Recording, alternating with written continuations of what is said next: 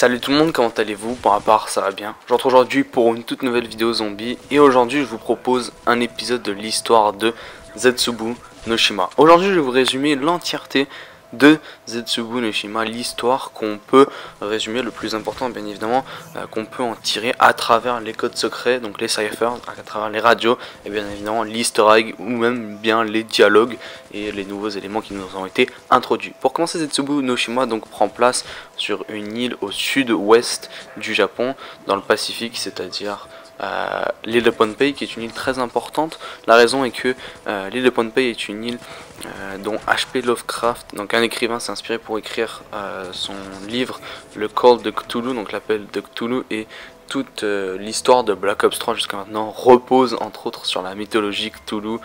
beaucoup de, bestioles, beaucoup d'éléments en fait sont juste inspirés de euh, ce, livre et c'est la raison pour laquelle Treyarch s'en est euh, probablement inspiré et a pris cette île pour euh, nous proposer la map en question Zetsubu Noshima qui justement en plus était une île durant la seconde guerre mondiale qui était très importante pour les japonais où est-ce qu'ils travaillaient, faisaient des expérimentations etc des tests en plus et bien évidemment de tout ce qui est relié au militaire et aux scientifiques. Donc Zetsubu Noshima, on nous introduit le groupe Division 9 qui est l'équivalent si vous voulez japonais du groupe 935 qu'on a à travers la storyline de World at War jusqu'à Black Ops 3 euh, et que vous connaissez tous donc ce groupe allemand avec euh, des parcelles des morceaux américains euh, le groupe l'idée par Ludwig Maxis et Dr Richthofen un groupe qui travaille avec l'élément 115 et qui l'exploite afin de créer des armes etc et eh bien on retrouve la même chose avec Division 9. On apprend également que Division 9 travaille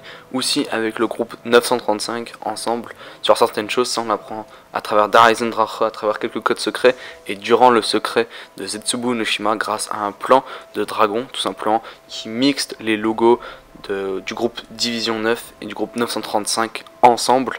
Euh, alors on sait qu'on apprend que les deux travaillent également sur les mêmes projets euh, et tout ça basé à base d'éléments 115. Takeo nous apprend également que le groupe 935 essaye, le groupe Division 9 désolé, essaye de venir à la création de leurs propres armes à base euh, d'éléments 115 et du coup on peut déjà imaginer que la Wonder Weapon de cette map, le 4 et 4 ou le Masamune version améliorée est une arme créée par le groupe Division 9 étant donné le fait que Masamune est un célèbre euh, sabre ou katana plutôt japonais utilisé par les samouraïs durant la seconde guerre mondiale qui euh, justement représente probablement le Division 9 qui ont donné ce nom associé à la version améliorée du 4 et 4 et c'est probablement une des raisons pour laquelle on peut déjà se, dire ceci.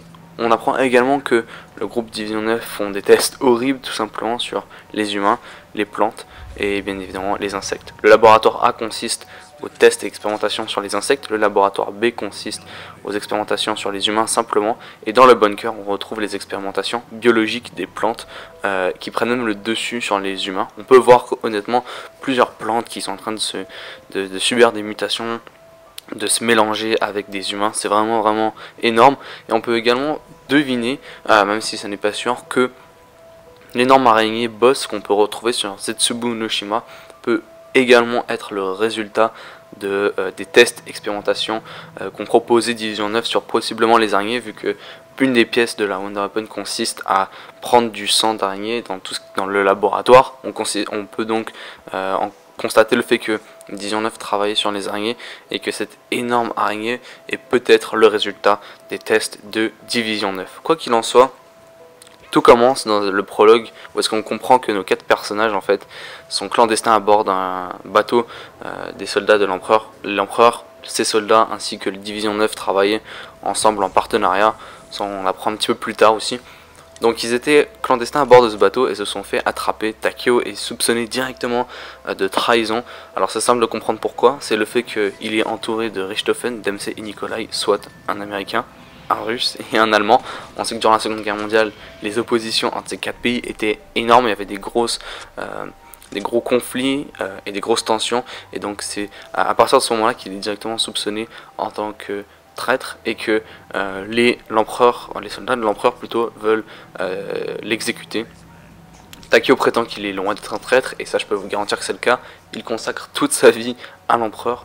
La moitié de ses dialogues sont tournés autour de l'empereur et pour le coup ils ont réussi à s'échapper et vont finalement nager vers l'île de Ponpei, Zetsubu Noshima et les laboratoires du groupe Division 9.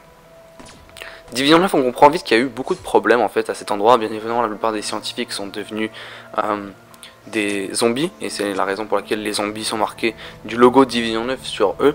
Euh, et on peut également comprendre en fait que il y a eu beaucoup beaucoup de problèmes dans le groupe en tant que tel. Sur les murs, il est écrit en japonais avec du sang plusieurs choses qui se traduisent, qui se traduisent entre autres avec euh, l'île est possédée et maléfique. Également, on a besoin d'aide.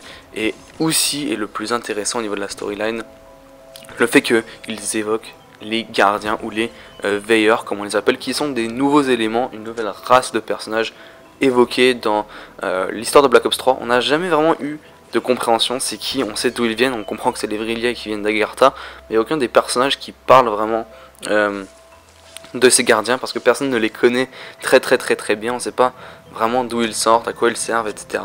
Et euh, bah, pour le coup, euh, Division 9, on comprend que les scientifiques semblent eux connaître justement ces gardiens et pourquoi pas faisait des expérimentations sur, et c'est possible, des gardiens. Donc on comprend donc que Division 9 était vraiment impliqué par rapport à ça. Donc c'est simple, nos personnages, après avoir fait toutes les étapes des easter eggs, entre autres avoir détruit un avion et réparé un ascenseur, se retrouvent dans la salle finale, dans le sous-sol, où se retrouve euh, probablement un, des lieux cachés ou secrets euh, du groupe Division 9, où se retrouve un énorme trasher euh, qui résulte de leur test scientifique, et dedans il y a Takeo 1.0, le Takeo de Black Ops 1, dans ce fameux trasher. Après avoir battu ce trasher, combattu ce trasher et même détruit le trasher, on réussit à libérer Takeo entre guillemets pour le tuer juste après. Et bon, c'est un bien pour un mal si on peut dire ça comme ça. Takeo est libéré et il nous explique la raison pour laquelle il est dans ce trasher. C'est super simple. Takeo nous explique en fait que l'empereur était jaloux de lui et ça on peut le comprendre à travers certains codes secrets de euh, Zetsubu Noshima. On comprend que en fait l'empereur a donné l'ordre à ses soldats ainsi que aux scientifiques du groupe Division 9 de tuer Takeo sur ah, de ne pas enfin que, que Takeo ne quitte pas l'île et de le tuer et prétendre que ça venait de tests scientifiques et donc que c'était pour le bien de la science comme ça le peuple aurait entre guillemets pardonné sa mort. La raison est que simplement Takeo était adoré par le peuple et l'empereur non. Donc l'empereur avait une sorte de jalousie envers Takeo et a donc essayé de mettre fin à sa vie dans un trasher, de le tuer. Euh, et tout ça a été ordonné par Division 9. Takeo de 1.0, donc Takeo de Black Ops 1 et World at War, explique ça à notre Takeo euh, qu'on incarne, donc le Takeo 2.0 venant de Origins. Il est tout simplement bouleversé et choqué car il a consacré sa vie entière à l'empereur. Il comprend que l'empereur finalement on n'avait rien à faire de lui et que l'empereur par jalousie a décidé de mettre, euh, a essayé de mettre plutôt un terme à la vie de Takeo 1.0. Ensuite, ils expliquent la situation. Et ce qui est intéressant de cette thématique, c'est également que Richthofen, au bout d'un moment, euh, la caméra vise vers Richthofen et il se sent plutôt visé. Il a un regard assez étrange. On comprend en fait que dans The Giant, Richthofen dit qu'il a une lettre de l'empereur pour Takeo. Takeo explique que lui, il pense que ce n'est pas vraiment vrai parce qu'il n'a pas reçu de nouvelles de l'empereur depuis super longtemps. Takeo était donc entre guillemets au courant de ce qui se passait entre l'empereur Takeo et ses plans obscurs depuis un petit moment. Il se sent légèrement coupable, on dirait, à travers ça. Takeo 2.0 lui explique à Takeo 1.0 leur objectif et ce qu'ils doivent faire, ce qu'ils doivent compléter. Donc ils, exécutent une sorte de rituel plutôt japonais qui consiste à se mettre un coup de sabre dans le ventre pour mourir de manière honorable et honorifique. Ils le font et l'âme va dans la clé d'invocation. C'est alors qu'à la fin de ce petit dialogue, on a un petit quelque chose assez intéressant. Euh, à la fin de secret plutôt, où est-ce que DMC demande à plutôt euh, avec un dialogue entre DMC et Richthofen, il dit que le prochain cherché c'est Nikolai et Richthofen explique que non, il y a autre chose à faire. Suite à ça, un écran blanc de 3-4 secondes se montre et nos personnages reviennent à l'intérieur de la map Zetsubu Noshima. Donc voilà, c'était l'histoire de Zetsubu Noshima pour faire plutôt simple. Euh, pour la fin de cette fameuse cinématique où est-ce que beaucoup de questions se sont posées à travers toute la communauté, est-ce que ça veut dire que pour le DLC 3 on aura autre chose à faire? Qu'est-ce que c'est ce truc dont il parle, Richthofen, ce plan et cette série d'événements à faire avant de tuer Nikolai. Eh bien, si vous regardez la cinématique, il y a un écran blanc où est-ce qu'il se téléporte durant une dizaine de secondes et il revient à travers un téléporteur, euh, plutôt un portail si vous voulez. À travers ce portail, on voit Takeo Dempsey et Nikolai qui ressentent avec deux flocons, deux flacons de sang sur eux. Et euh, en avait déjà deux sur lui. il explique que ça, en fait, c'est l'assurance si vous voulez, c'est une euh, assurance en cas de problème. Euh, donc on peut déjà se dire que si un des personnages meurt ou s'il y a un problème, eh bien ce sang servira à réparer le problème.